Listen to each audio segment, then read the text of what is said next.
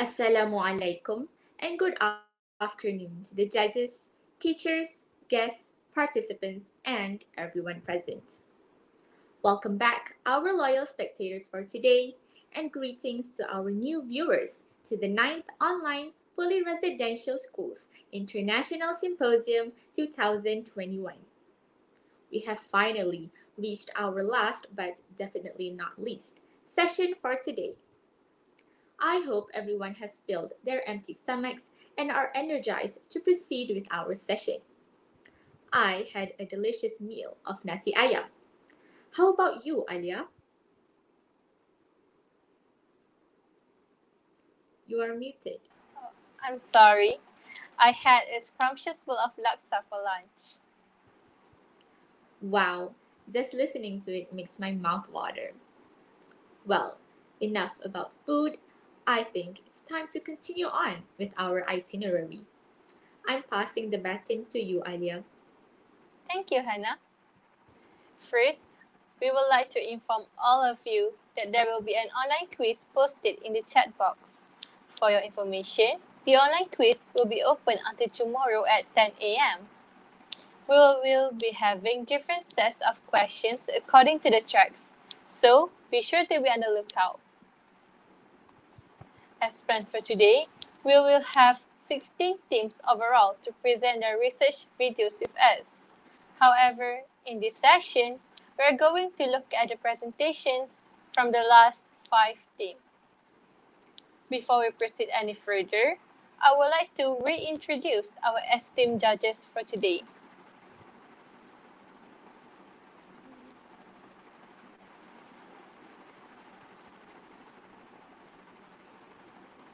The chief judge is Puan Farah Mardi Aman, the director of English Language Teaching Center Malaysia.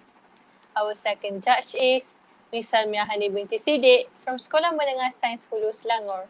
And lastly, our third judge is Mr. Muhammad Anwar bin Ibrahim from College Tunku Kursia. And we, Nurul Alia Carmila, and my lovely co-moderator, Nurhana Muhammad Muazzam are both from Sekolah Seri Puteri.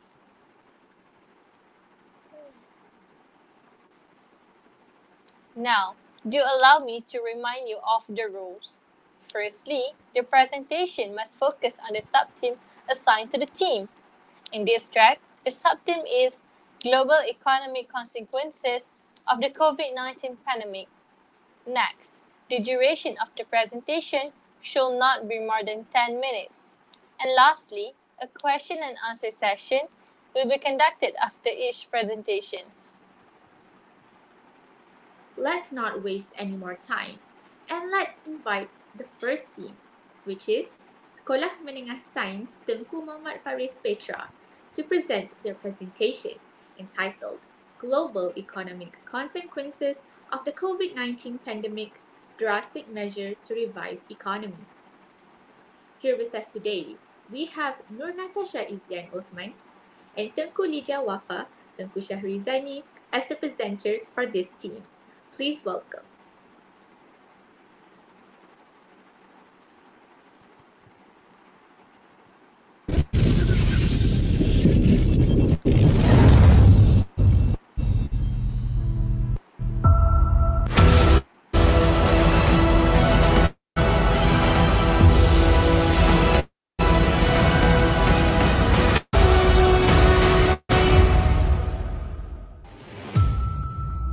Hello everyone.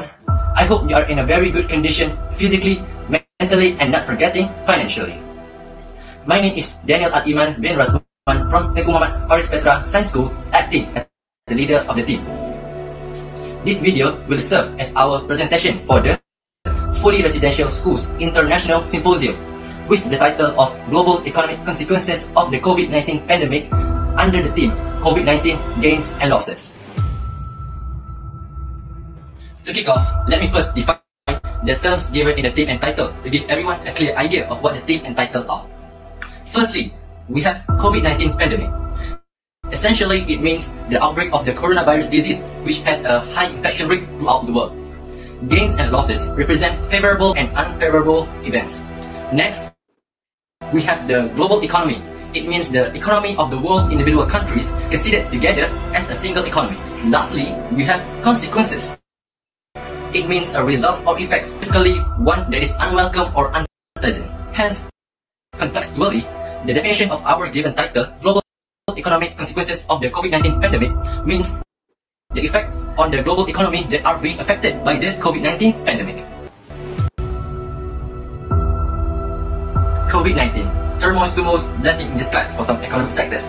COVID-19, without a doubt, had caused many sectors of economy to go down. However, surprisingly, there are still some businesses that actually gains from this pandemic, especially this one industry in particular. Well, I'm talking about the rise of pharmaceutical industries. Pharmaceutical companies act as the center stage in fighting COVID-19. These companies are experiencing a positive growth on their stock market as the demand for the ways to prevent and cure disease are rising. To show you just how much they have actually gained, here are some pictures that indicate the increase in revenue that they gain. Here is the picture from the website Macro Trends that shows the AstraZeneca quarterly revenue. To show you how much they gain, let us look at the revenue in the time span of 6 months in 2021 compared to the last 6 months of 2020. During the first 6 months of 2021, the revenue of AstraZeneca is 15,540 million dollar compared to 13,988 million dollar during the last 6 months of 2020. Well, for Pfizer, this picture from the website Statista clearly indicates a huge growth in revenue compared to the recent years as a large margin of revenue gain in 2021 came from their COVID-19 vaccine. Well, this certainly shows just how much the pharmaceutical companies gains from the pandemic. We even conducted a survey and interview to prove that. Next, we are going to be discussing about the negative consequences of the COVID-19 pandemic towards the economy. The first negative consequence of the COVID-19 pandemic towards the tourism sector is that the unemployment is on the rise. This can be proven by the statement from Astro Awani that the unemployment rate in Malaysia has increased in May 2021 to more than 728,000 people, which is equivalent to 4.5%. To strengthen the first point, according to the Unemployment leads to higher payments from states and governments for employment benefits, food assistance, and Medicaid.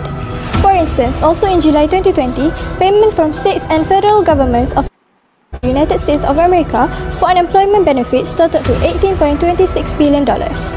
People with jobs like pilot, air hostess, and tourist agency staff are the most affected ones as they are working in tourism industry.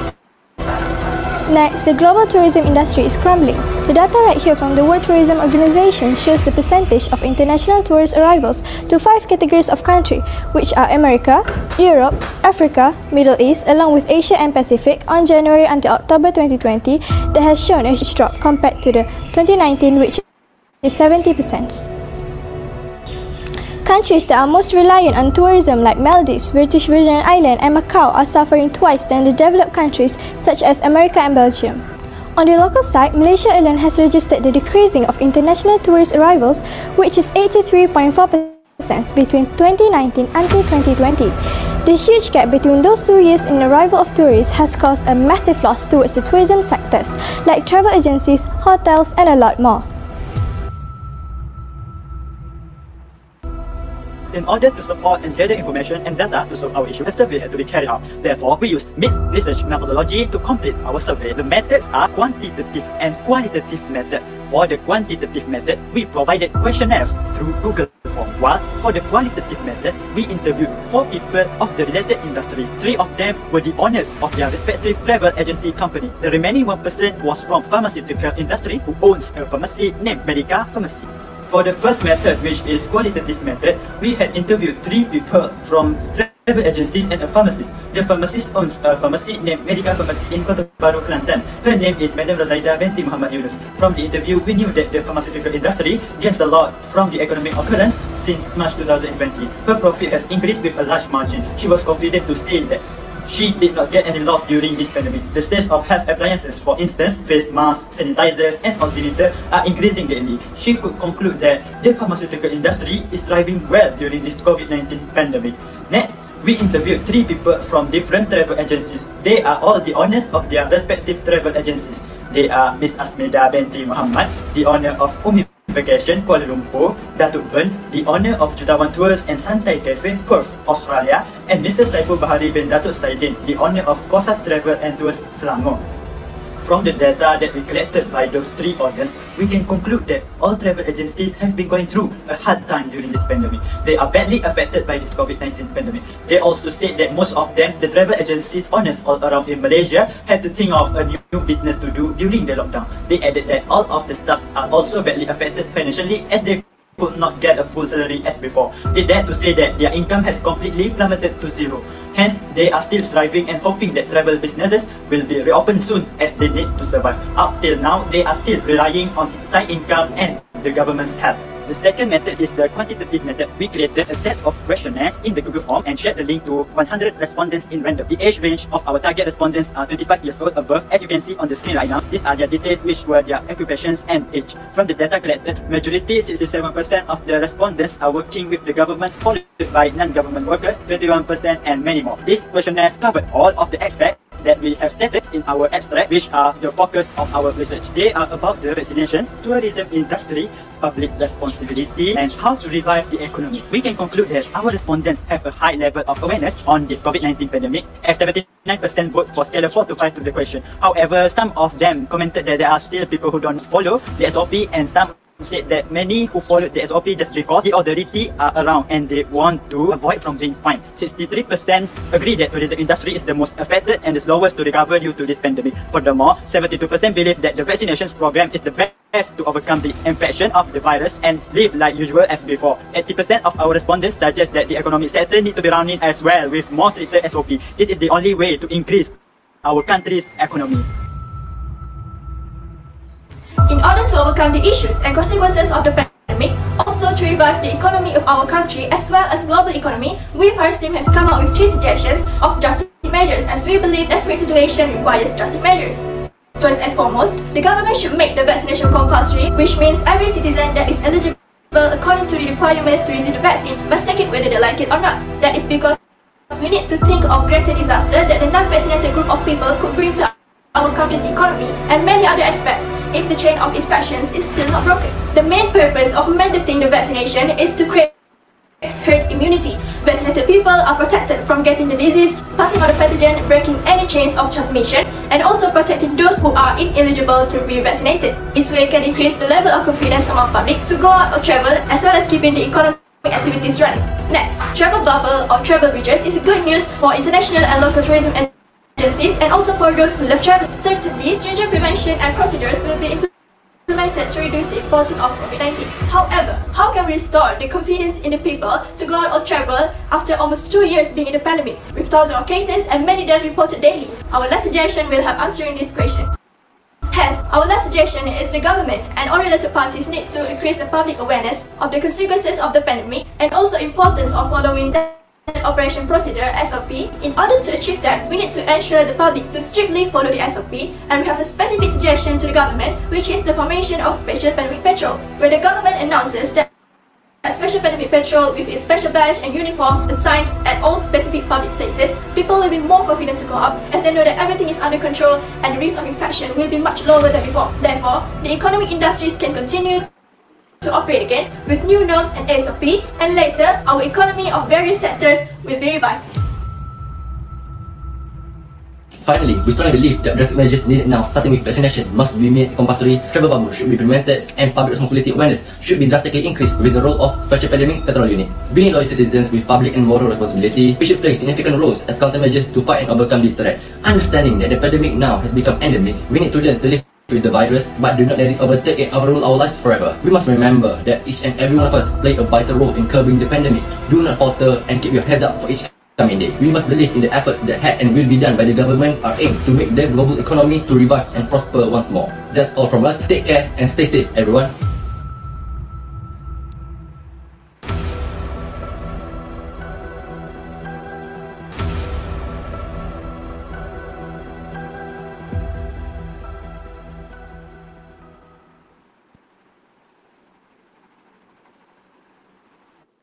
Thank you, Sekolah Menengah Sains Tengku Muhammad Faris Petra for such a brilliant presentation.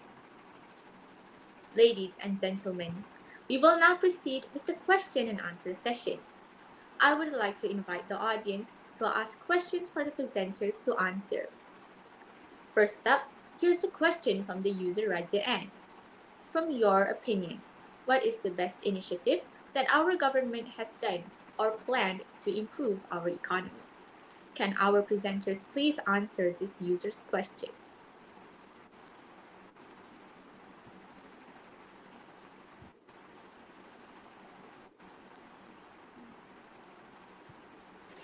May I take this question? Yes, you may. Okay, hello everyone. My name is Tengku Lydia and I'm from Faris Petra. So the question is, what's the best initiative that our government has done or planned to improve our economy? So personally, um, uh, I see that uh, the government has uh, been giving uh, the uh, help uh, in the form of money uh, to the unemployed, um, the unemployed and those who um, have trouble in paying their debts. Uh, so um, I think the government has done their best uh, in um, helping the citizens, uh, the public, to uh, cope with the uh, this pandemic. But uh, there is still uh, room of improvement. Thank you. Thank you for your lengthy answer. Next up, we have a question from user Hanis Shafira Shafi'in that goes, What were the obstacles you faced while preparing this research? Can our presenters please clear the air?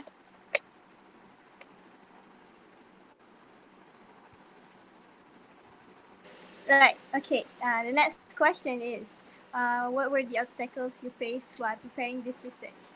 So uh, personally, I think uh, the unable uh, for us to uh, meet each other face to face uh, to discuss together uh, what was uh, our findings about uh, the research is um, the most um, the most uh, really uh, hard the most hard uh, part of uh, this project because um, I think uh, the when we communicate face to face, we are able uh, to understand more uh, about uh, our uh, teammates' opinion and uh, ideas. So I think that's my answer. Thank you, presenters, for such a great explanation. Okay, Since there are no more girls. questions from the viewers, I would like to invite the judges to give any comments or questions. Okay, Assalamualaikum girls. Alright, so I have a question for you. Okay, so since now before this COVID-19 is known as a pandemic, okay, but now we already call it as endemic, where we need to live with it. Okay, so in your opinion, do you think Malaysians are ready for this? I'm sorry, sir. What was the question again? Okay, so before this, we know uh, COVID-19 as a pandemic. Okay, but now we call it as endemic, where we need to live with it. We cannot run away from it. Okay, so in your opinion, do you think Malaysians are ready for this? Does Malaysia ready for this? Yeah. I think it's uh, yes, completely yes.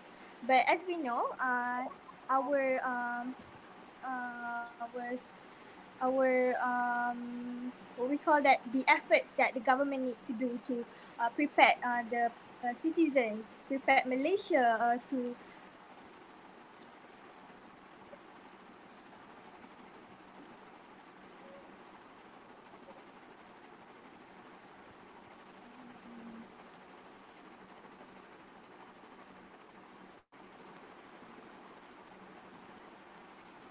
It seems that the presenter is facing some technical difficulties.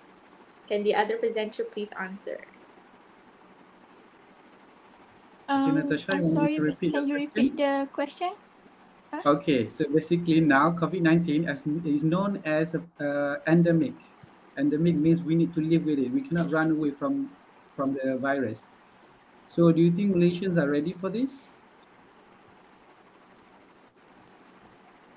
Yes, I think uh, Malaysia is already uh, Malaysia is ready for this as um, right now the government is um, uh, the effort that was uh, that will be done by the government and has done which is uh, vaccination. So we want to uh, create, we want to achieve herd immunity. So of course, uh, the Malaysia is ready, and when we do when we did the questionnaire, um, most of our respondents are agreed that Malaysia is ready to uh, face this endemic phase. Thank you. All right, thank you, Natasha. Thank you to the presenter. Now, that concludes all the questions. With that, our question and answer session has now come to an end. Thank you once again, Sekolah Menengah Sains Tengku Muhammad Faris Petra and the presenters, Nur Natasha Izian Othman and Tengku Lija Wafa Tengku Shahrizani for such an informative presentation.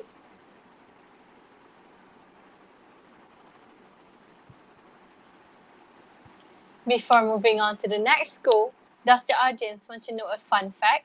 How about you, Hannah? Yep, I sure do.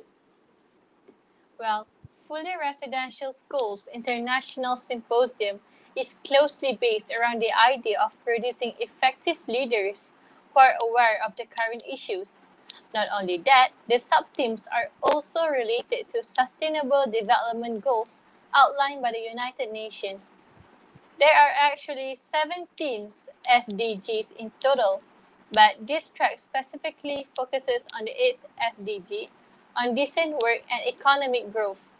Hannah, what do you think about the 8th SDG? Well, for me, the importance of this SDG is how much it contributes to social mobility and so that the under, underprivileged people can have an avenue to improve their well-beings in these trying times. That was such a thoughtful insight. Thank you, Hannah. Ladies and gentlemen, we will now continue on with Sekolah Berasrama Penuh Integrasi Batu Rakit to present their video entitled COVID-19 Pandemic Effects on Global Economy. Here with us in the studio are Damia Uzma Imani Ahmad Zamani and Nur Hidayatun Nabila. Please welcome.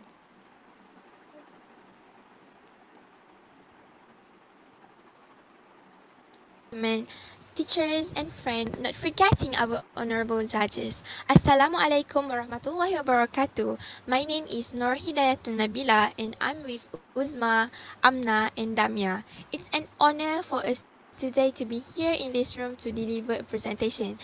The title of our presentation is COVID-19. Does it change our economy?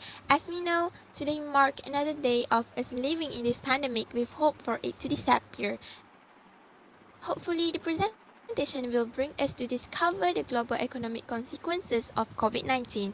Throughout the presentation, we will cover three main points. First, our research findings. Second, ways to overcome the problem. And third, the summary of the whole presentation. So that would be the overall structure of our presentation.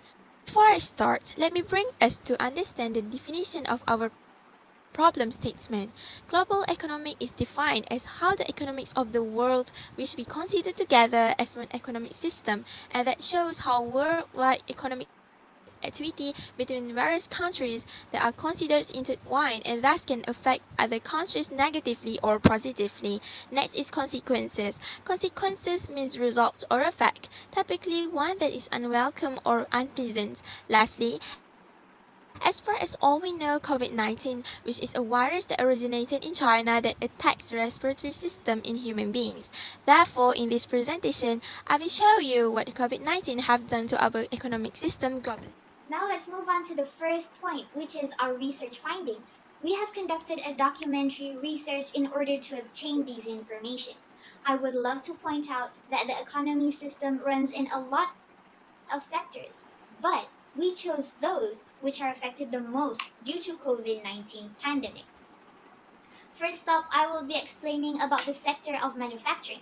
Manufacturing is a sector of economy that produces finished products it is a major part of the economy as it accounts for nearly 16% of the global gross domestic product GDP in 2018. As a result, the government across the countries primarily focuses on encouraging the manufacturing sector. However, After the coronavirus outbreak, our global economy witnessed a sharp decline, includes in manufacturing industries. For example, transportation, printing and publishing, fashion industries, and so on have represented the largest economic shock as the baseline forecast envisions a 5.2% contraction in global GDP in 2020. This really shows that the coronavirus outbreak have badly effect on manufacturing sector. Moreover, the COVID-19 does not only affect the manufacturing sector for the time being, but also will leave a great fundamental change even when the pandemic ends. This is because the manufacturer needs to adapt to a new normal in the economy for the long term in such a short time. However, certain of manufacturing sectors such as technology, healthcare, home repair, remodeling, and pharmaceutical industries has reported positive increases during this COVID-19 pandemic. Next up, we have the business sector. Business is defined as organization or enterprising entity engaged in commercial, industrial, or professional activities. It is important to our country as it contributes the local economies by growth and innovation of community. Plus, business can give employment opportunities for people to generate income and improve their life. However, the appearances of COVID-19 has completely caused a major economic shock to the sector. In United States, a survey of more than 5,800 small businesses was conducted between March 28th and April 4th in 2020. The results suggest that the pandemic had already caused a massive dislocation among small businesses just several weeks after its onset and prior to the availability of government aid. Through the Coronavirus Aid, Relief and Economic Security CARES Act. Across the full sample, 43% of businesses had temporarily closed and nearly all of these closures were due to COVID-19. While in Malaysia, an online survey was also conducted and received over 670 responses from large listed companies until small and medium-sized enterprises. In result, they concluded that the key challenges are from across five areas, which are financial, customer, technology, supply chain, and people. According to the survey, the top challenges for each area that, large listed companies and small and medium-sized enterprises are facing was quite the same. They suffer from financial issues including cash flow, liquidity, delays in receivables, and declines in revenue. Nearly half of the respondents have cited that a fall in demand is their key challenge during this pandemic. Large listed companies stated that delays in receiving supplies as the main supply chain challenge, while small and medium-sized enterprises noted delays in fulfillment and delivery as their main challenge.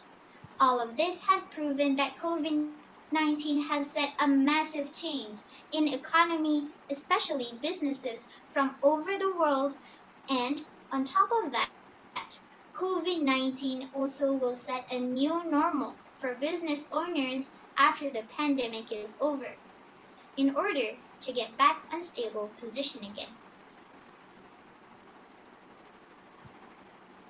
Next up, we have trading, and I will be taking the lead from here. So, what is trading? Trading is a basic economic concept involving the buying and selling of goods and services, the composition paid by a buyer to a seller, or the exchange of goods or services between parties. Trade can take place within an economy between producers and consumers. International trade allows countries to expand markets for both goods and services that otherwise may not have been available. The COVID-19 pandemic has drastically disrupted economic activities throughout the world.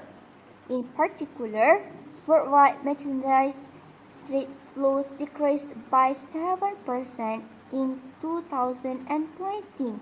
Some of the few factors that are most likely to affect the net international trade are its direct health impact and associated behavior change.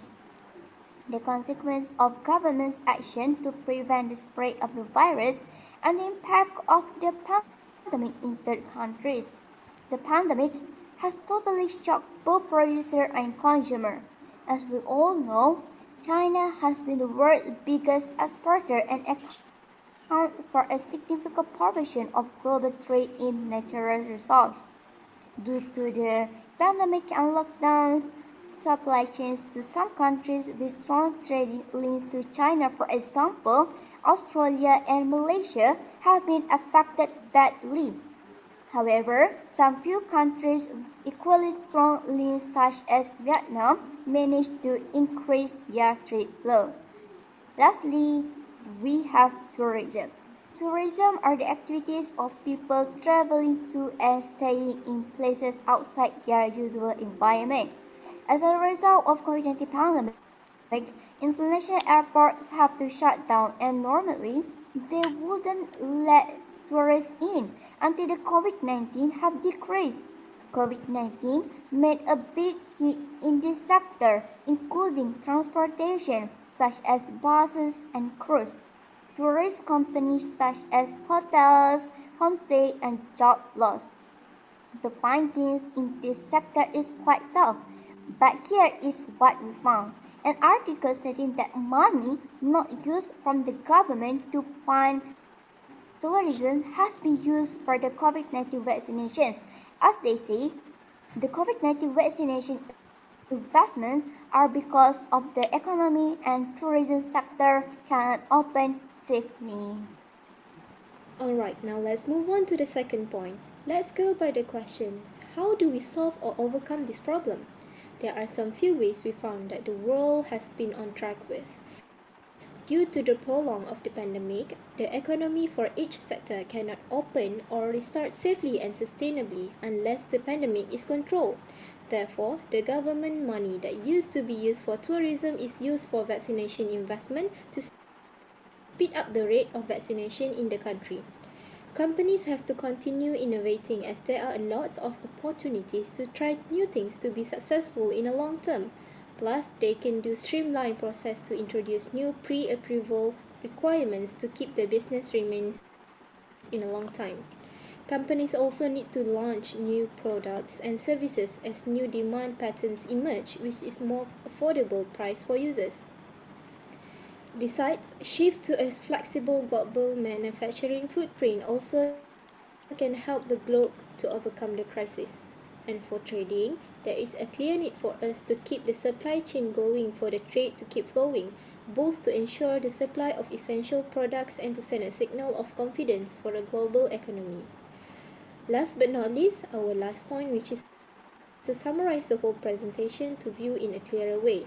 Due to the pandemic COVID 19, a lot of sectors are affected and also benefited from it. There will be a question session shortly, and I would like to end the presentation here. Thank you for your time and have a great day.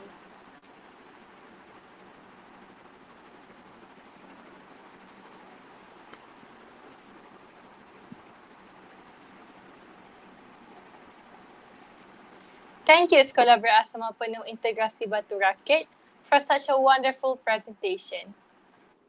Ladies and gentlemen, we will now continue on with the question and answer session. Any sort of inquiries are welcome in the chat box. Ask away. It seems that we have our first question from user Kride Sharma that goes, suggest some measures through your research to reju- rejuvenate the tourism industry in the wake of the pandemic and partial travel bans. Can our presenters clear the eh? air?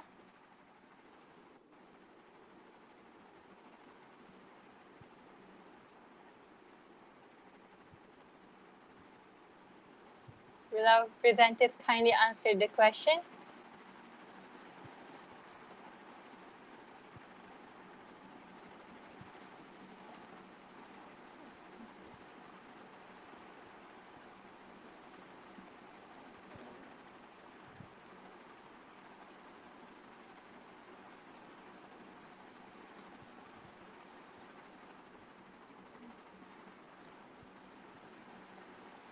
Can our presenters kindly answer the question? Or you, do you need some time to think about it?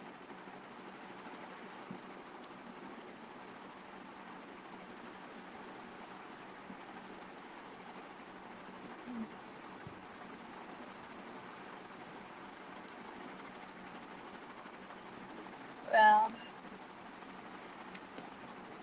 Okay, how about we go to another question from user Ainin Sofia Shasha. She would like to ask, do you think the government give the best solution to overcome the economic crisis? What are our presenters' thoughts?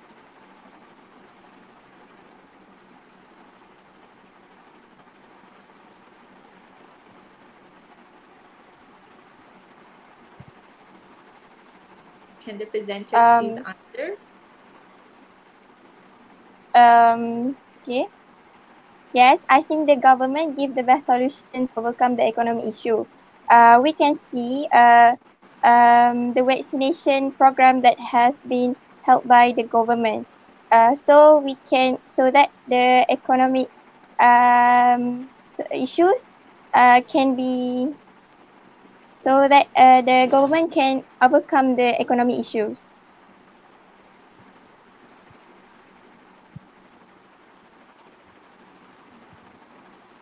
Thank you, presenter, for the answer. we have another question from user Amna that goes, do you think it is important for teenagers to be aware about the current economical situation in our country? Why? Can our presenters kindly answer the question? Um, all right. Um, okay, in my opinion, uh, it is important for teenagers to be aware about the current economical situation in our country, so they would know about uh, the economic issue, as well as uh, they would be prepared uh, on how to react and as well as uh, living expenses. Thank you. Thank you for answering the user's question. Since there are no more questions from the audience, will our judges be kind enough, kind enough as to post any comment or inquiries for the presenters? Okay, good afternoon. Um, I just would like to ask, uh, it was mentioned that Vietnam managed to raise their uh, trade flows. So how do they manage this actually? How do, how do they manage to do this, to increase their trade flows? Thank you.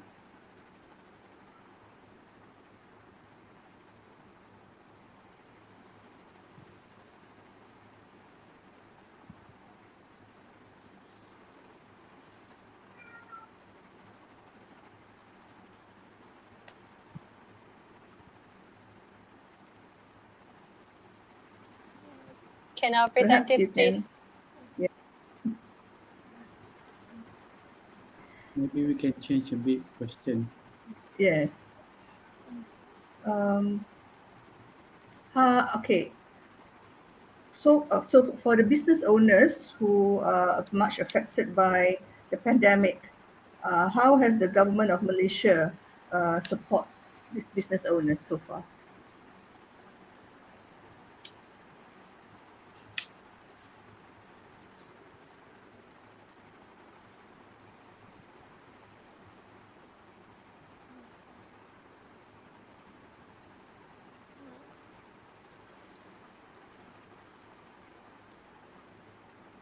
Can our presenters try to answer the judge's question?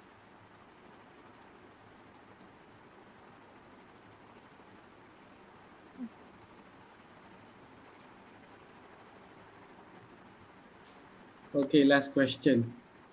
All right, so throughout the research, what did you learn?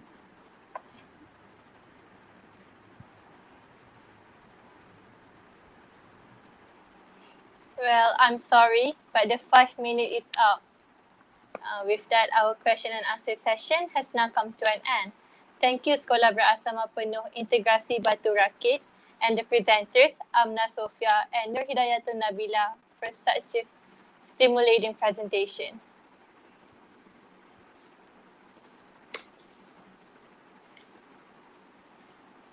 Alia, I would like to ask you, Do you know the importance of our sub-theme today? Mm, I think I have some idea about it, but I'm not sure, Hannah. Would you care to explain? Of course. The sudden rise of the COVID 19 pandemic surely has disrupted billions of lives and impacted the global economy. Following the eight Sustainable Development Goals, its aim is to promote sustained, inclusive, and sustainable economic growth, full and productive employment, and decent work for all. We are encouraging students to think outside the box and create possible solutions while resonating and feeling empathy for other people currently struggling economically in the midst of this pandemic. How's that, Anya? Wow, that's such a great aim. I really hope uh, the audience can learn a lot from this symposium.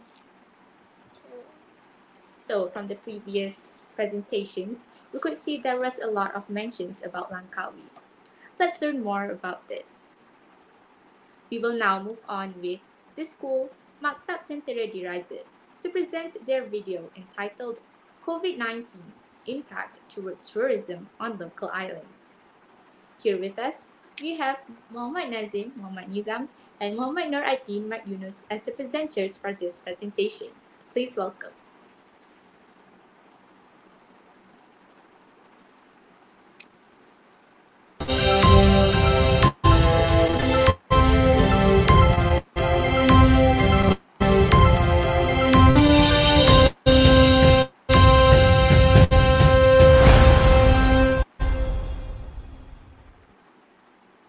This is what it looks like on the islands before the pandemic.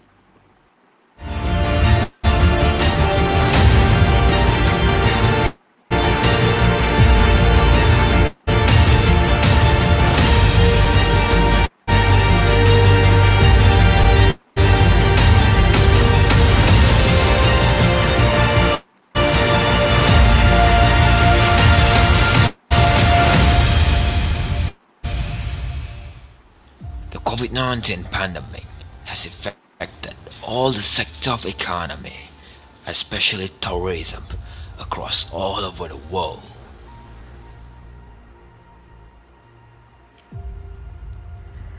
In this year's fully residential school international symposium, we were given the sub-theme Global Economic Consequences of the COVID-19 Pandemic, and we have narrowed down to Malaysia's tourism, specifically on the islands. Hi, I'm 437085 Putra Muhammad Nazim bin Muhammad Nizam. I am 47102 Beauty Muhammad Nur Adin bin Mat Yunus. I'm 437171, Putra Muhammad Farid Shahmi bin Muhammad Shafi. I am 437082 Putra Darwish Darzuki. This is our advisor teacher, Memunira, and we are the representatives of the Royal Military College.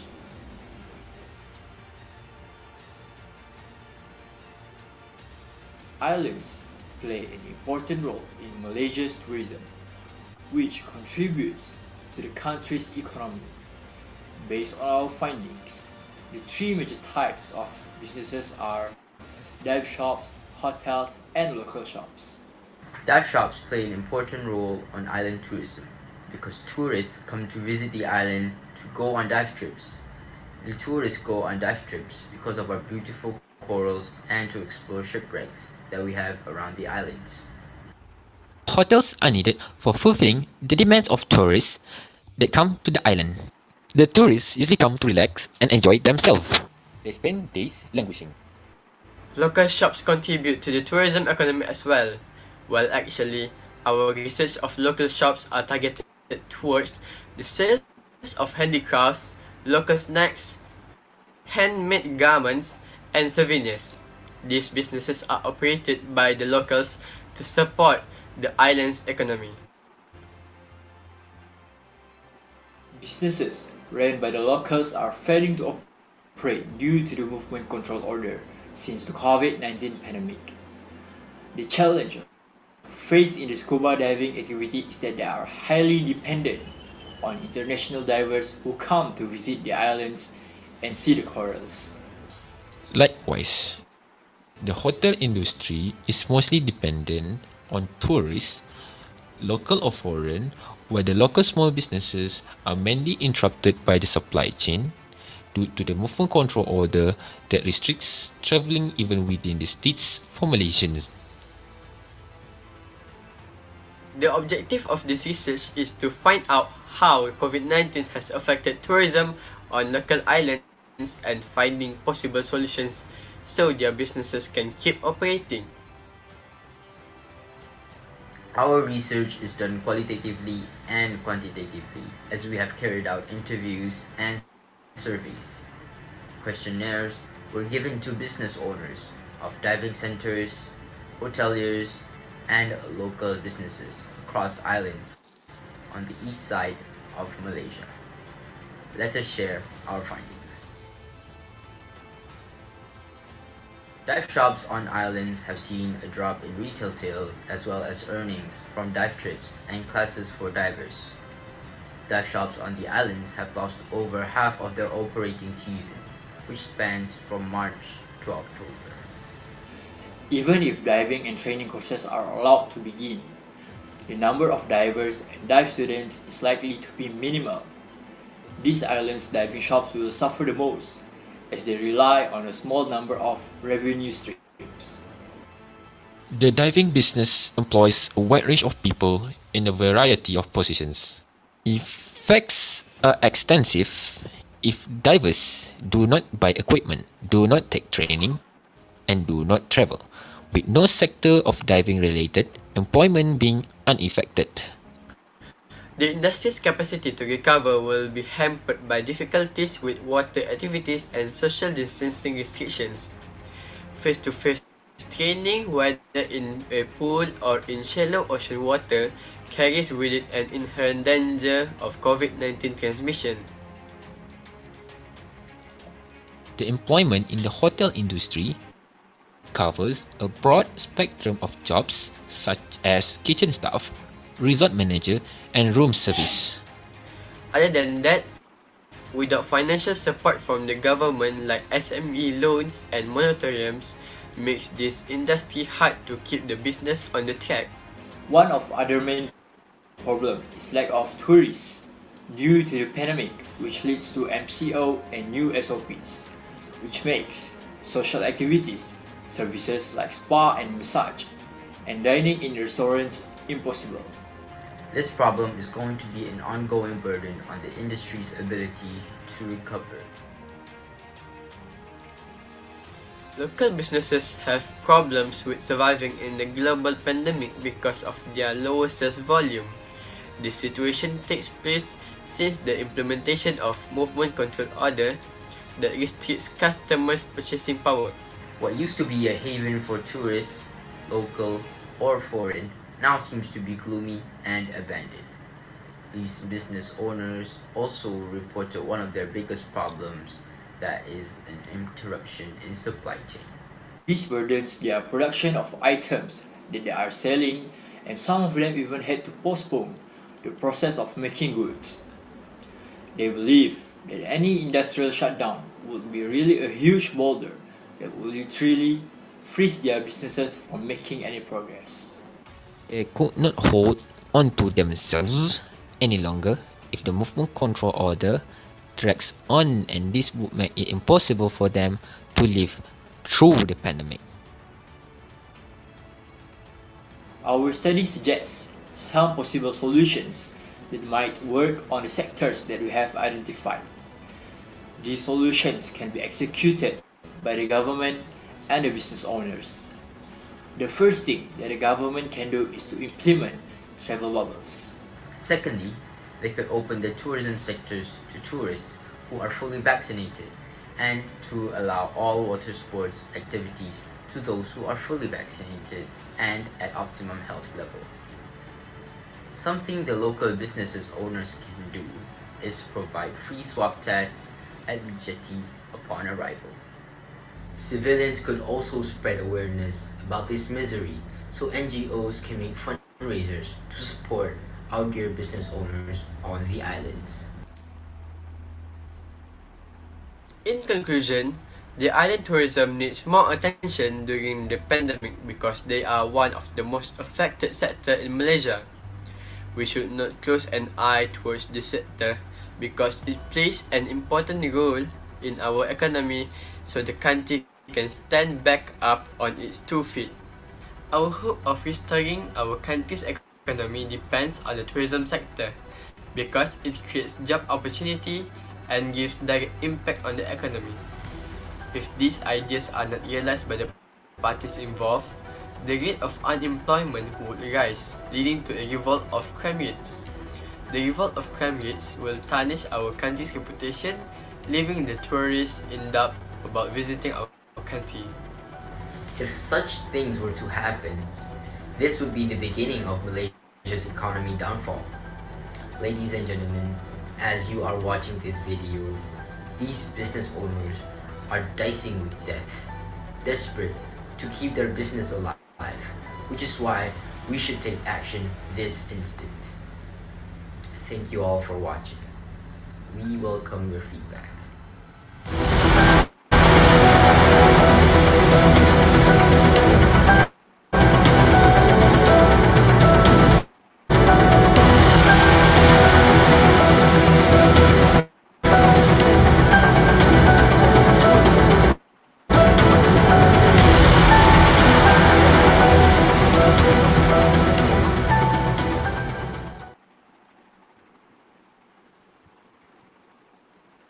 Splendid research video. Thank you, Maktab Diraja. Now, I'm sure all of you have some questions regarding the presentation just now. Fret not, as we will be starting the question and answer session. The audience may write down any questions in the chat box. First up, we have a question from the user Ainin Sofia Shasha. She asks, what do you think about the reopening of tourism sector? Is it relevant by looking back to daily cases? What are our presenters' thoughts? Uh, Assalamualaikum to everyone and a good afternoon. So what I think about reopening the tourism sector and how is it relevant by looking back to the daily cases? Or I think uh, that it is very important to open the tourism sector. And uh, looking back to the daily cases, uh, each day is different and uh, at times uh, it is rising and at sometimes they go down. But uh, we still have to open the tourism sectors um, because the amount of people that are vaccinated in Malaysia are also rising. So we could open the tourism sectors up for the people who are vaccinated. Thank you for the great input. Any other questions from the audience? Next up, we have a question from user Zahira Muzamring that goes, if you are given the chance to contribute ideas on ways to make sure the strict SOP are followed by the tourists, what will you do? Can our presenters kindly answer the question? Um, I will take this question and thank you to Zahira Muzamir. Um, if you, if I was given a chance to contribute ideas on ways to make the SOP strict, strict uh, followed by the tourists, so first I will surely do a swab test um, from their arriving arrival to the hotels or to the jetties. So from this, we will bring it to the hotels and we just do the quarantine. We make sure they are quarantined, they quarantine and stay in the room without going anywhere else. And if there are any more ideas after it, then we will make sure that the places that they are allowed to go are very strict. So like if they were in Langkawi or if they were in these sort of areas, so they can only go to this from here to there and from here to there without crossing the lines, without crossing the borders and being risk to the public. That's all from me. Thank you, presenters, for your lengthy explanation. Any more questions from the audience today? Since there are no more questions, would the judges be kind enough to give any comments or pose any questions for the presenters?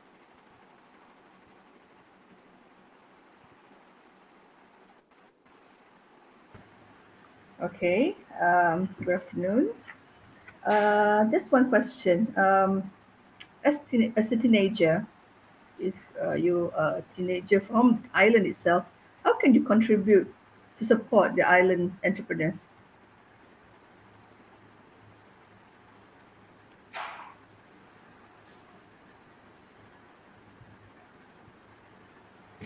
So, um, the question from you, ma'am Farah, if I was a teenager on the island, how could I contribute to the entrepreneurs? How can you contribute to support the entrepreneurs the on your island? Yeah. Um, so as a teenager uh, in this generation, uh, we are very hooked to the uh, social media and the internet, and it is probably a lie if you would uh, you wouldn't know anything about the internet, correct? If you were a teenager, so since everything is digitalized during the pandemic, um, to help the entrepreneurs on these islands as a teenager is by um, promoting their friends and families' um, businesses. And this is by going through Instagram shops and promoting on Shopee and such other else's um, applications and websites online. That's all from me. Thank you. Thank you for the lengthy answer. I would love to continue with such an exciting question and answer session, but unfortunately, the five minutes is up. Thank you once again, Maktab Tentera Diraja and the presenters, Muhammad Nazim Muhammad Nizam and Muhammad Nur Ad-Din Mat Yunus for such a stimulating presentation and answers.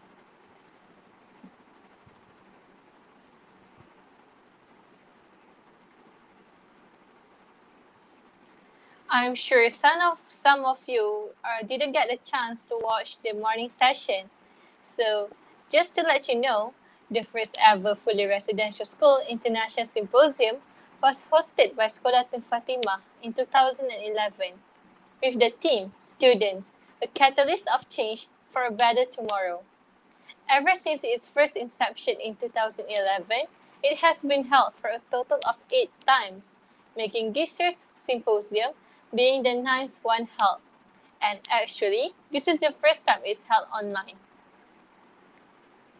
Not only that, the last fully residential school international symposium was hosted by Sekolah Berasama Penuh Integrasi Gombak in 2019. The theme was Smart Industry, Reforming the World.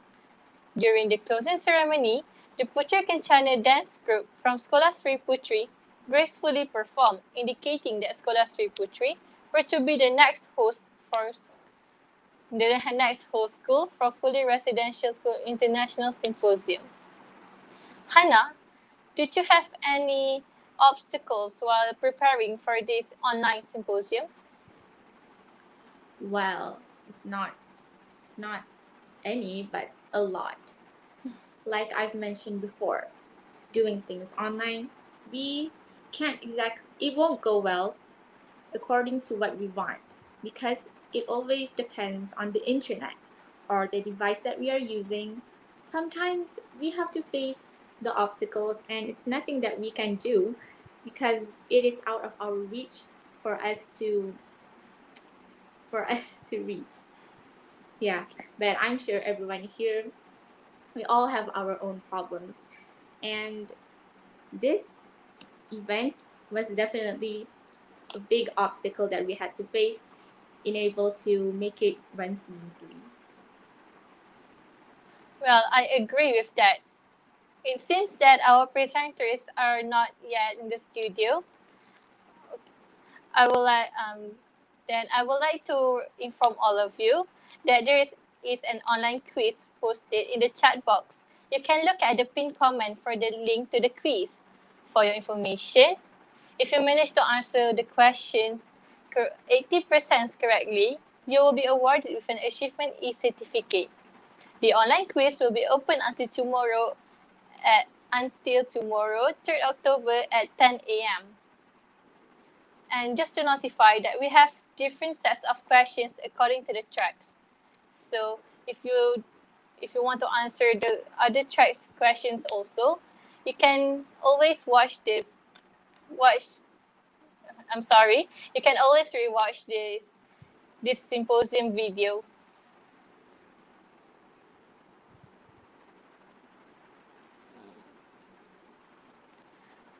Looks like our presenters is still not here. Well, uh, let me tell you something about our tracks for today. Do, do you know that the sudden rise of the COVID 19 pandemic has disrupted billions of lives and impacted the global economy? So, following the eight Sustainable Development Goals, its aim is to promote sustained, inclusive, and sustainable economic growth, full and productive employment, and decent work for all. Here in the symposium, we are encouraging students to think outside the box and create possible solutions while resonating and feeling empathy for other people currently struggling economically in the midst of this pandemic. Hannah, how do you feel about those people who are struggling during this pandemic? Well, as we all know, there are people out there that aren't as privileged as we are. They have trouble even having to find food, water, and etc. So I think that we need to raise awareness about these people's situations and the problems that they face during this pandemic. We over here, you might have the privilege to have food, water in front of our eyes whenever we want. But there are people out there that because of this pandemic, they have trouble having to find necessities that they need for their daily lives. Yes, I actually agree with that. And that is why through this symposium, I hope we can learn a lot about the other people who are struggling and empathize with them. Well, it seems that our presenters are finally here. I would like to invite our presenters from Sekolah Menengah Sains Kubang Pasu to present their research video entitled The Effects of COVID-19 on Unemployment Rate in the Selected ASEAN 3 Countries. Here with us in the studio are Siti Sarah Marzuki, and Nur Farhatul Shuhada Ruhaiza. Please welcome.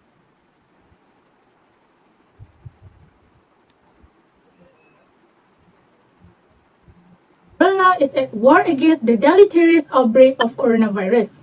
Nowadays, millions of people are suffering from poverty due to a pandemic which has been spreading uncontrollably since the fourth quarter of 2019. But before that, hi, Assalamualaikum warahmatullahi wabarakatuh, and a very pleasant day to honorable judges, distinguished guests, ladies.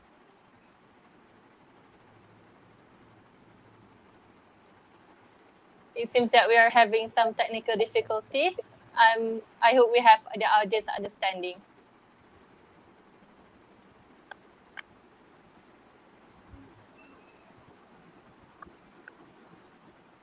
world now is at war against the deleterious outbreak of coronavirus.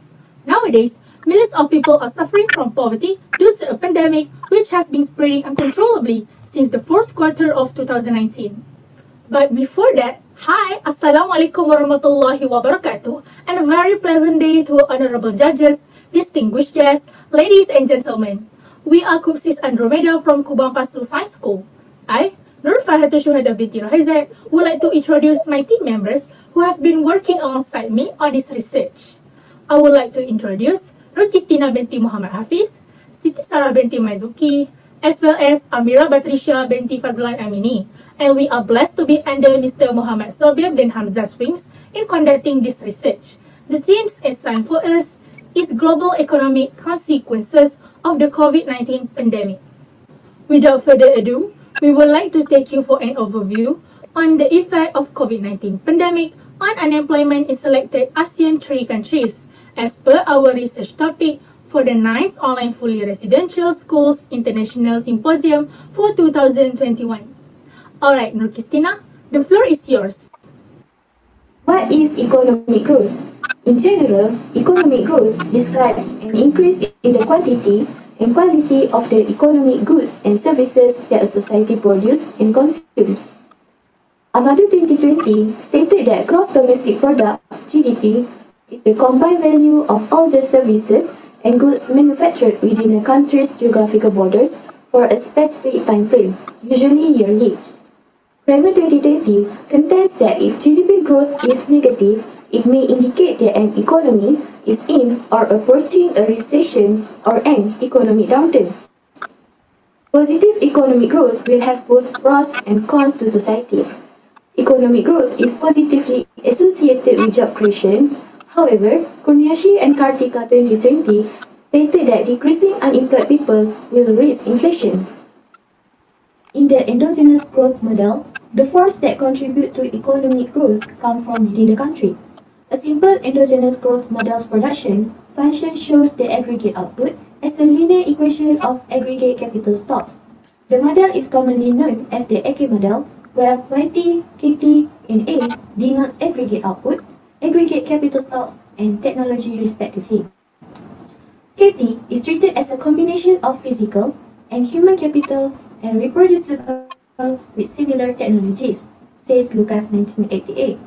So, based on this, it shows the importance of human capital on the economy. Okun's law stated that the unemployment rate negatively correlates with real GDP, says Hassan 2020. Hence, an increase in unemployment would affect output. The outbreak of coronavirus, or known as the COVID-19 pandemic, that was first found in Wuhan, China, has severely impacted the world economy. Kernan 2019 highlighted that the pandemic would negatively impact both the individual and economy of the countries. Governments worldwide have implemented precautions such as social distancing or school closures to pre prevent and control the growth of the COVID-19 pandemic, say Asahi and all in 2021. However, the Dijankar and Panuza 2020 stated that strict social distancing has negatively affected informal workers' income prospects, which may increase poverty. In addition, Bannon 2020 examined the short-term consequences of COVID-19, and their findings suggest that COVID-19 decreased hours of work and labor force participation and increased the unemployment rate. When we talk about employment, we need to look at human capital. Generally, it refers to the quality of the workers who become assets to a company.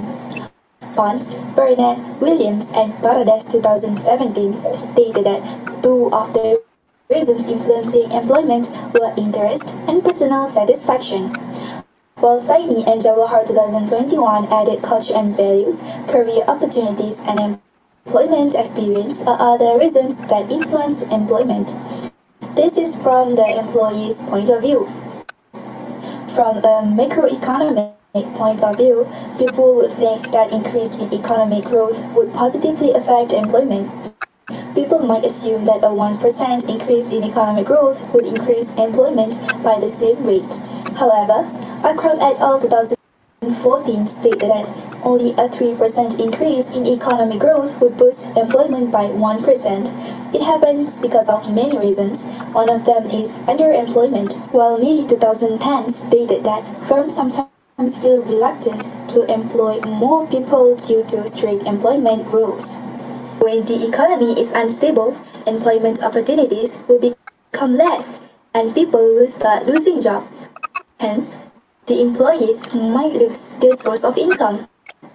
So the unemployment rate will increase. The situation becomes worse when we add the COVID-19 pandemic into this scenario. With the implementation of new standard operating procedures and movement control orders, finding a suitable job based on interest, personal satisfaction, and career opportunities, as highlighted by Pons et al. 2017 and Saini and Jawahar 2021, might no longer be an option. Hence, to look at this issue, this study is conducted. As explained earlier, the effect of COVID-19 is disastrous, affecting the life of the people economic activities, and even economic growth of a country.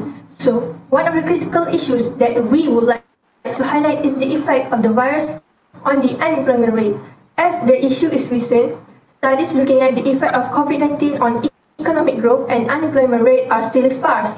Hence, this study is conducted to examine the effect of the virus outbreak on three selected ASEAN countries, Malaysia, Singapore, and Thailand from 2011 to 2020. Countries consist of Brunei, Cambodia, Indonesia, Laos, Malaysia, Myanmar, Philippines, Singapore, Thailand, and Vietnam. According to the World Bank Group 2015, ASEAN countries were reported to have the second fastest economic growth in Asia and International Monetary Fund or IMF 2019 putting it as the fourth fastest economic growth in the world after China, the USA and India. On the 1st of April 2013, Malaysia, Singapore and Thailand announced the implementation of the ASEAN Disclosure Standards.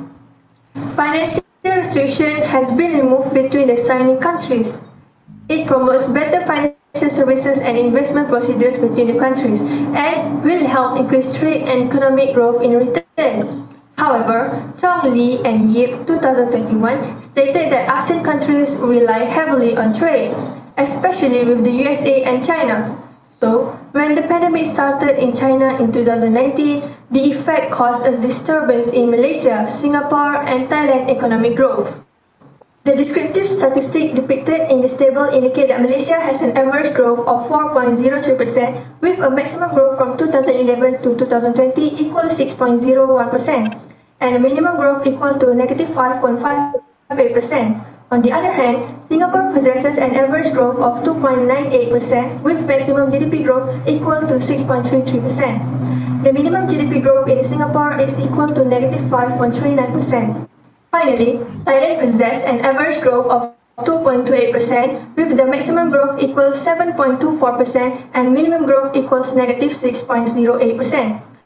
For your information, the lowest GDP growth depicted by Malaysia, Singapore and Thailand are from the year 2020. In looking at the dispersion, we can look at the value of the standard deviation. The higher the value of standard deviation will indicate that the growth is inconsistent. As depicted here, we can see that Thailand possess the highest dispersion for GDP, which is 3.46. However, the value is not far from Malaysia at 3.42 and Singapore recorded the lowest standard deviation of 3.22.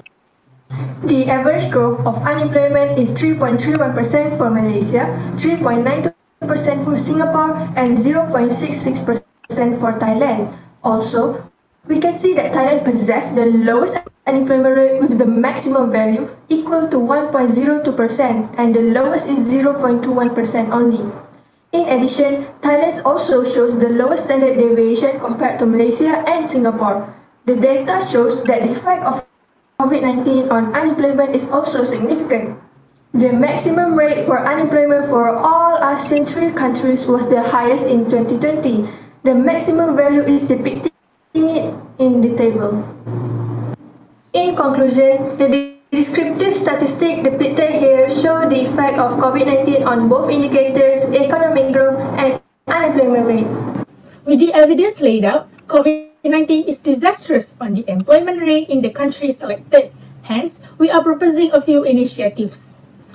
First, as explained earlier, the effect causes an increase in the unemployment rate in the selected ASEAN 3 countries, leading to income loss.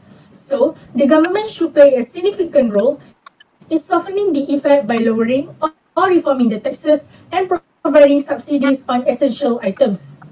Tax reforms will be helpful for corporations and private sectors to deal with the pandemic, especially for small and medium industries, and maintain employment.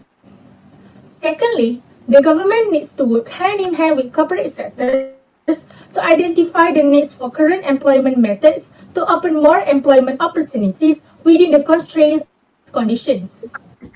Finally, people must change their attitude and not be too selective in looking for jobs, and people should learn to accept and live the way we are now. That is all from Kupsis. Thank you.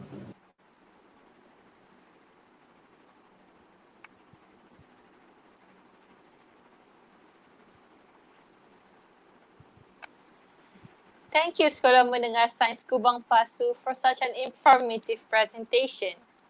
Now, let's proceed with the question and answer session. Any sort of inquiries are welcome in the chat box. Ask away. It seems that we have our first question from user Siti Ashira Ismail that goes, What is the best finding of your research? Perhaps you can share it with us? Can our presenters kindly answer the question?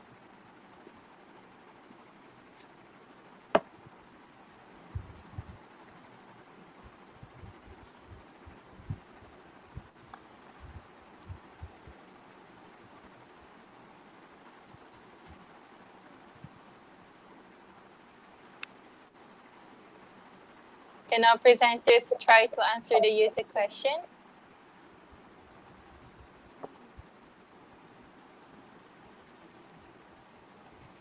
Uh, may I answer this question? Okay, Yes, so may. the best, uh, the best finding of uh, our research is um, basically the increase in unemployment rate will significantly affect the, the GDP growth. Um, but and uh, if the unemployment rate is negative, which is will affect the GDP, and if the GDP uh, decrease as well, then it will mostly means that the economic growth are going through downturn or recession. But if the economic growth are increasing, it has pros and cons, uh, which is it will give a positive effect on employment when many people have works. But if everyone have works and the unemployment were too low, then this will raise in inflation. Thank you for answering. Here comes another question from the user Zahira Muzamir. That goes, keeping businesses open during the pandemic is important for economical stability. However, public health are at risk due to the airborne COVID-19 virus. What is your opinion on this matter? Can the presenters please share your opinions?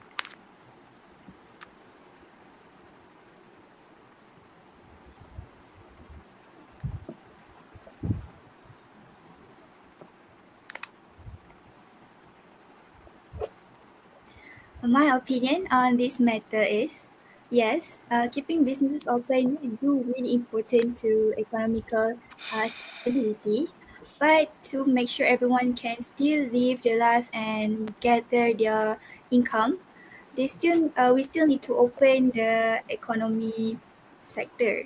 We need to open the shop and people need to go out for work. So what do we need to do is um, everyone need to get vaccinated and people need to follow the strict SOP.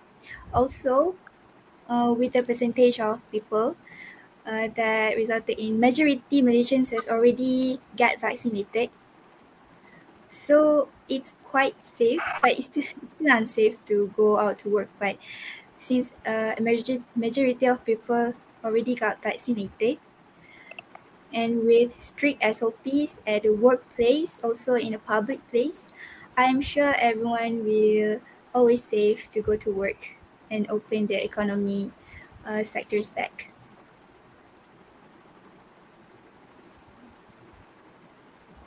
Thank you so much for the answer.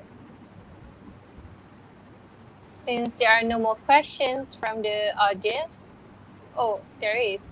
Okay, we have our next question from the user Kride Sharma that goes When the micro and macro businesses are running in massive losses, can you suggest some measures to increase an employment opportunities and GDP in ASEAN countries?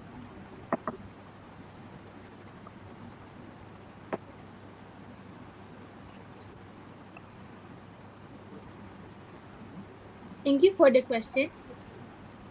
Okay, as explained earlier in our presentation, um, I ha- uh, we have some um, initiative, uh, some initiative uh, for the government role to opening allowing the business or providing subsidies. So that uh, maybe can providing some um, job opportunities to to people that um, people that affect to the COVID nineteen. Yes, I think that's my answer. I hope it answers to your question. Thank you, presenters, for answering the user question. Is there any more question from the audience? Since there are no more questions from the audience, will the judges post any comments to the presenters? Okay, Assalamualaikum. This is going to be a very quick. Okay, so what I like about your presentation, uh, you have all the theories and then your reference, references at the back. Okay, uh, one of the school that, for me, I think it's it's almost complete. Okay, your the good thing is your references and also the theory that you use for the research. Thank you. Well, that concludes all the questions. With that, our question and answer session has now come to an end. Thank you, Sekolah Menengah Sains Kubang Pasu, and the presenters, Siti Sarah Marzuki and Nurfahatu Shuhaida Rohaiza, for the simulating presentation.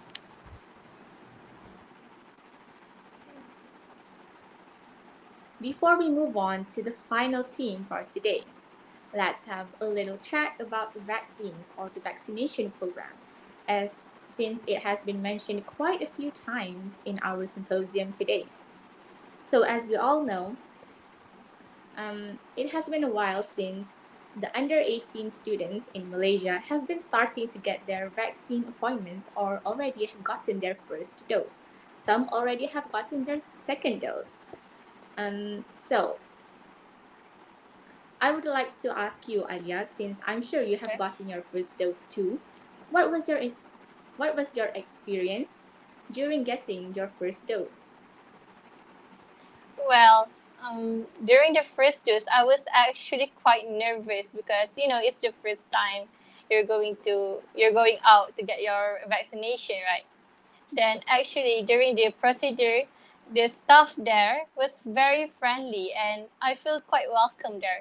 And after I get the vaccination actually doesn't even hurt at all. And even after I got my first dose, I didn't feel any side effects. It means that uh, I'm quite healthy and not I didn't feel like fatigue or something like that. That's good to hear. I'm generally afraid of needles or anything sharp, so at first I did need a few time, few minutes to gather myself courage in order to get the shot. But Alhamdulillah, I got the first dose, and at first my body did feel a bit weak, but right now I'm feeling great. So I would like to raise awareness about the importance of vaccines, and I hope all of you have gotten your vaccines and are going to get the second dose in the future. Now, it is the time that we all have been waiting for. What is it, do you ask?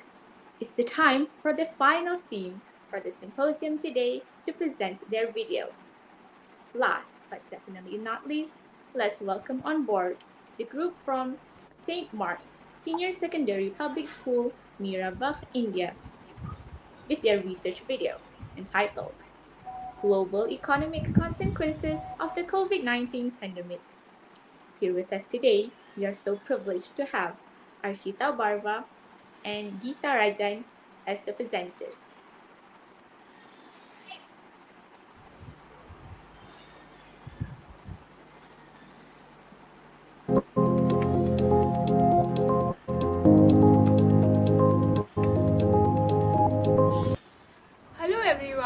I am Astha Sukhita. Hello everyone, I am Arshita Parva. I am Chitragar.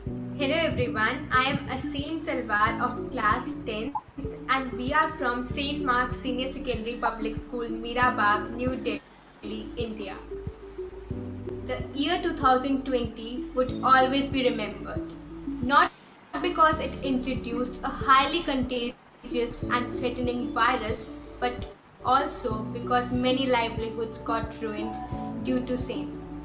COVID-19 virus has not only shown an enormous impact on the healthcare sector but has also hindered the economy of all the nations due to downfall in GDP as there was a closure on economic activities. People tried many attempts to cope up from the economic crisis, but the things were all changed. Although work from home was introduced as a preventive measure, but through that people became prone to many other problems like less sales in businesses, reduced salaries, etc. COVID 19 has also had a mass effect on the mindsets of the people as they have got less spending power due to less income, and therefore both the businessmen and employees are vulnerable to a great loss. The savings of the people are now diminished as the money earned and saved was spent on the treatment of infected people. To study the topic, we conducted surveys. Let us brief you about our research methodology. We studied the responses by the community to the set of questions put upon the online survey forms. We asked the people about the impact of COVID 19 on their economic conditions. The people also shared their thoughts on the government's plan of action and their recommendations on the better management of the economic crisis. We also managed to get some offline interviews while taking all the necessary precautions. The interviews helped us to know a lot about the ongoing situation and people's view on the same. covered several sections in the interviews we conducted. First, the unprivileged section. Second, the middle class. Third, the healthcare workers. And fourth, the business class. We have to live with our spending and we cannot spend on leisure or luxury. कि अब जो होगा हम सब के साथ होगा क्योंकि हम का काम धाम तो है नहीं इसकी वजह से अब ज़्यादा परेशान हैं uh, because when you're working from from an office uh, the AC cost the cost from uh, cost from operating from home is very different but uh, you know I, I think in the past one and a half years it has it is pretty much stable uh, we have been, we are now living with the you know the fact that this is going to continue for the next couple of years. Uh, so the cost is pretty much stable. So before this all pandemic situation happened, I got placed luckily, and uh, in another one month or so after uh, you know getting enrolled in my job, the pandemic hit, and everything was shut down. Though being uh, in a pharmaceutical company, we were the backbone of the industry as uh, our company was somewhere related to it. that I've been following. You know, they are, uh, you know, after the first admission itself, even though government has given a capping on the uh, hospital bills, but still, because of their prolonged hospital stay and prior uh, decrease in their income because of the prolonged lockdowns, these patients are really suffering and they are having a financial crunch. They find very difficult to pay the hospital bills and once they are discharged, they are again coming back even after 10 days or 15 days with some other complication. Through the surveys and the interviews, we observed the following. A research was conducted by our team through Google Forms and several interviews. We observed that people had been severely affected by COVID 19. Small scale businessmen and young employees witnessed substantial losses. The per capita income projected to decline as unemployment and shutting down of businesses were common those days. Furthermore, the economic crisis affected the underprivileged section of our society to a great extent as well, as their incomes, which were originally very less, witnessed even more downfall. The people witnessed an immense loss in businesses. The big businessmen were affected due to fall in stock markets. The middle class businessmen were affected as their sales diminished due to lockdown that resulted in withdrawal of money which was invested in the business. The small scale businessmen were affected as the sales were extremely low, which eventually resulted in closure of the businesses and unemployment. We did a survey to find out if people had been affected by the pandemic economically. 76.1% of the people agreed that they were affected, while 23.9% people disagreed.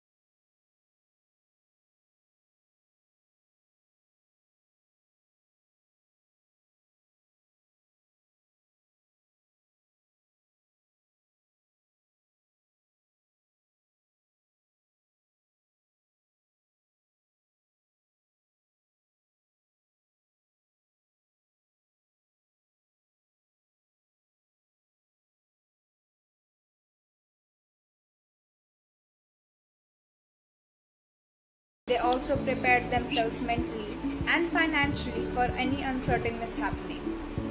People started making easy handmade products which provided them with employment. This was mostly practiced by the labor class who could not find work. The government also tried to provide people of economically lower sections with daily rations and cereals. When asked about the quality of the goods, people were not very satisfied and complained about various things. But still, it proved to be helpful. Many people of the labor class migrated back to their hometowns. Most of them decided to cultivate on their lands and be with their families.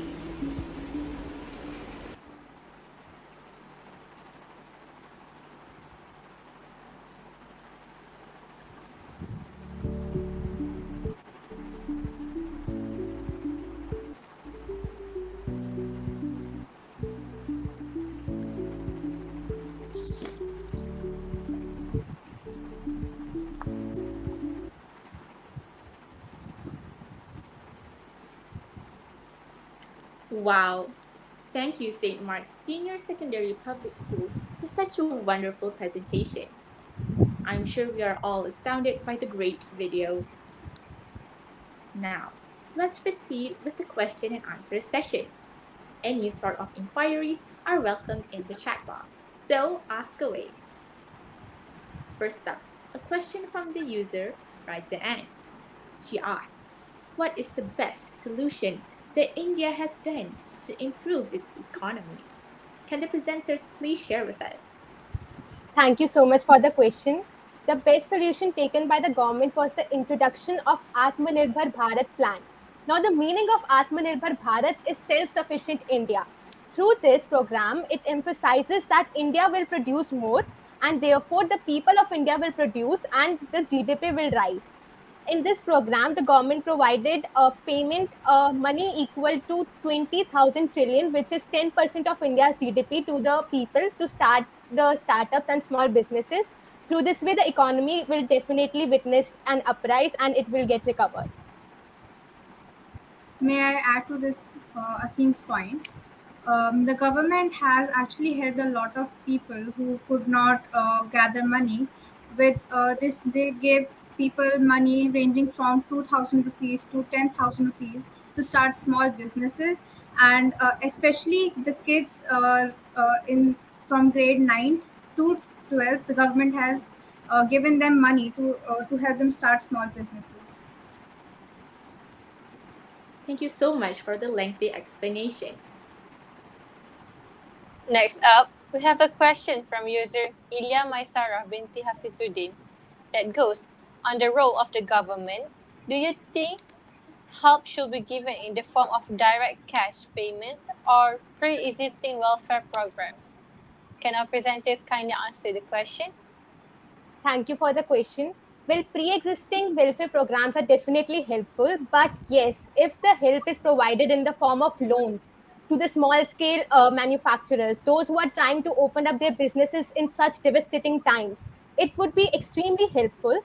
And if the government uh, government has uh, provided credit cards also of twenty five thousand rupees to the people who are starting new businesses, and if such helps are provided by the government, then definitely the economy would uh, witness a better uprise. uh, may I add to this point that the government uh, providing with the welfare programs, I think that uh, that would help in the better livelihood of the people. But if uh, they have to like um, they have to uh, help the country grow, uh, uh, the economy of the country grow. I think that the, the government should provide the people with loans and the lower interest uh, provided by the banks. Thank you very much for your informative and lengthy explanation. Since there are no more questions from the from the audience, I would like to invite the judges to give any comments or pose any inquiries to our presenters. Right, I have a question. Uh, you mentioned underprivileged section. Uh, what is the range income for this section? If you have the data. That's yes, thank you so much, ma'am, for Thank uh, your for the question. Ma'am, the Uh, unprivileged section actually uh, is though are those who are migrant laborers and those who survive on daily wages. For example, we had taken an interview from a fruit seller, and he belongs to an unprivileged section. So his income per day is extremely uncertain. He doesn't know how much he's going to earn, and for that, the government of India had provide daily ra- uh, rations to the people. That means uh, the wheat and the rice, so that on a very low price, so that the people could survive and the unprivileged sections are definitely finding it really difficult to survive in such uh, devastating times because it is really unpredictable and uncertain for them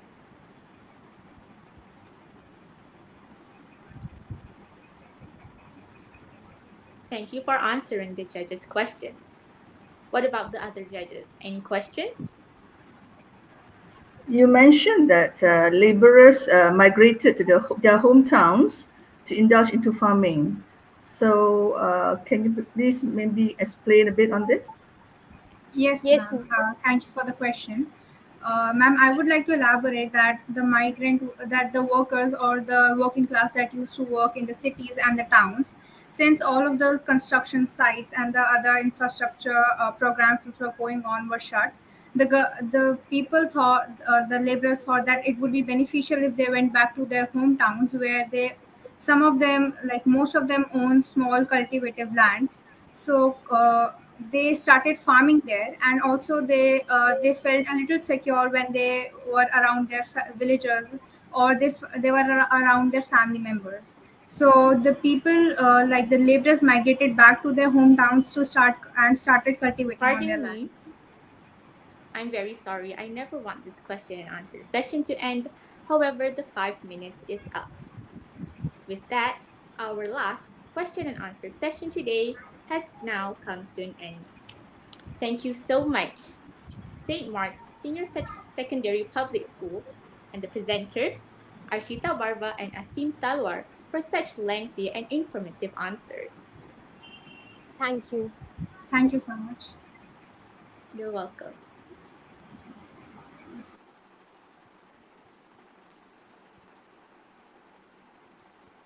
We have now reached the end of our symposium for today. Before we wrap up, I would like to inform all of you that there was an online quiz posted in the chat box. You can look at the pinned comment for the link to the quiz. For your information, the, the Google form for the quiz is only accessible from today 10, at 10 a.m. until tomorrow, 3rd October at 10 a.m. For your information also, an ECE certificate will be sent to your email if you obtain 80% correct answers. You may also go to individual, individual school videos in case you miss any during the presentations. So, all the best! Lastly, thank you to all the judges, teachers, participants, and audience present for your undivided attention in this session. We really appreciate you all for taking the time out to be with us here today. Unfortunately, despite the interesting presentations and question and answer sessions, all good things must come to an end. This marks the end of our symposium for today. Hopefully, the research presentations have shed new light and given us new insights on the issues involving the COVID 19 pandemic. Before that, I represent both of us to apologize for any inconvenience that we may have caused throughout the program. Fret not, we will resume with more research sharing tomorrow at the same time as today's session. With that, we, We thank you. Till we meet again.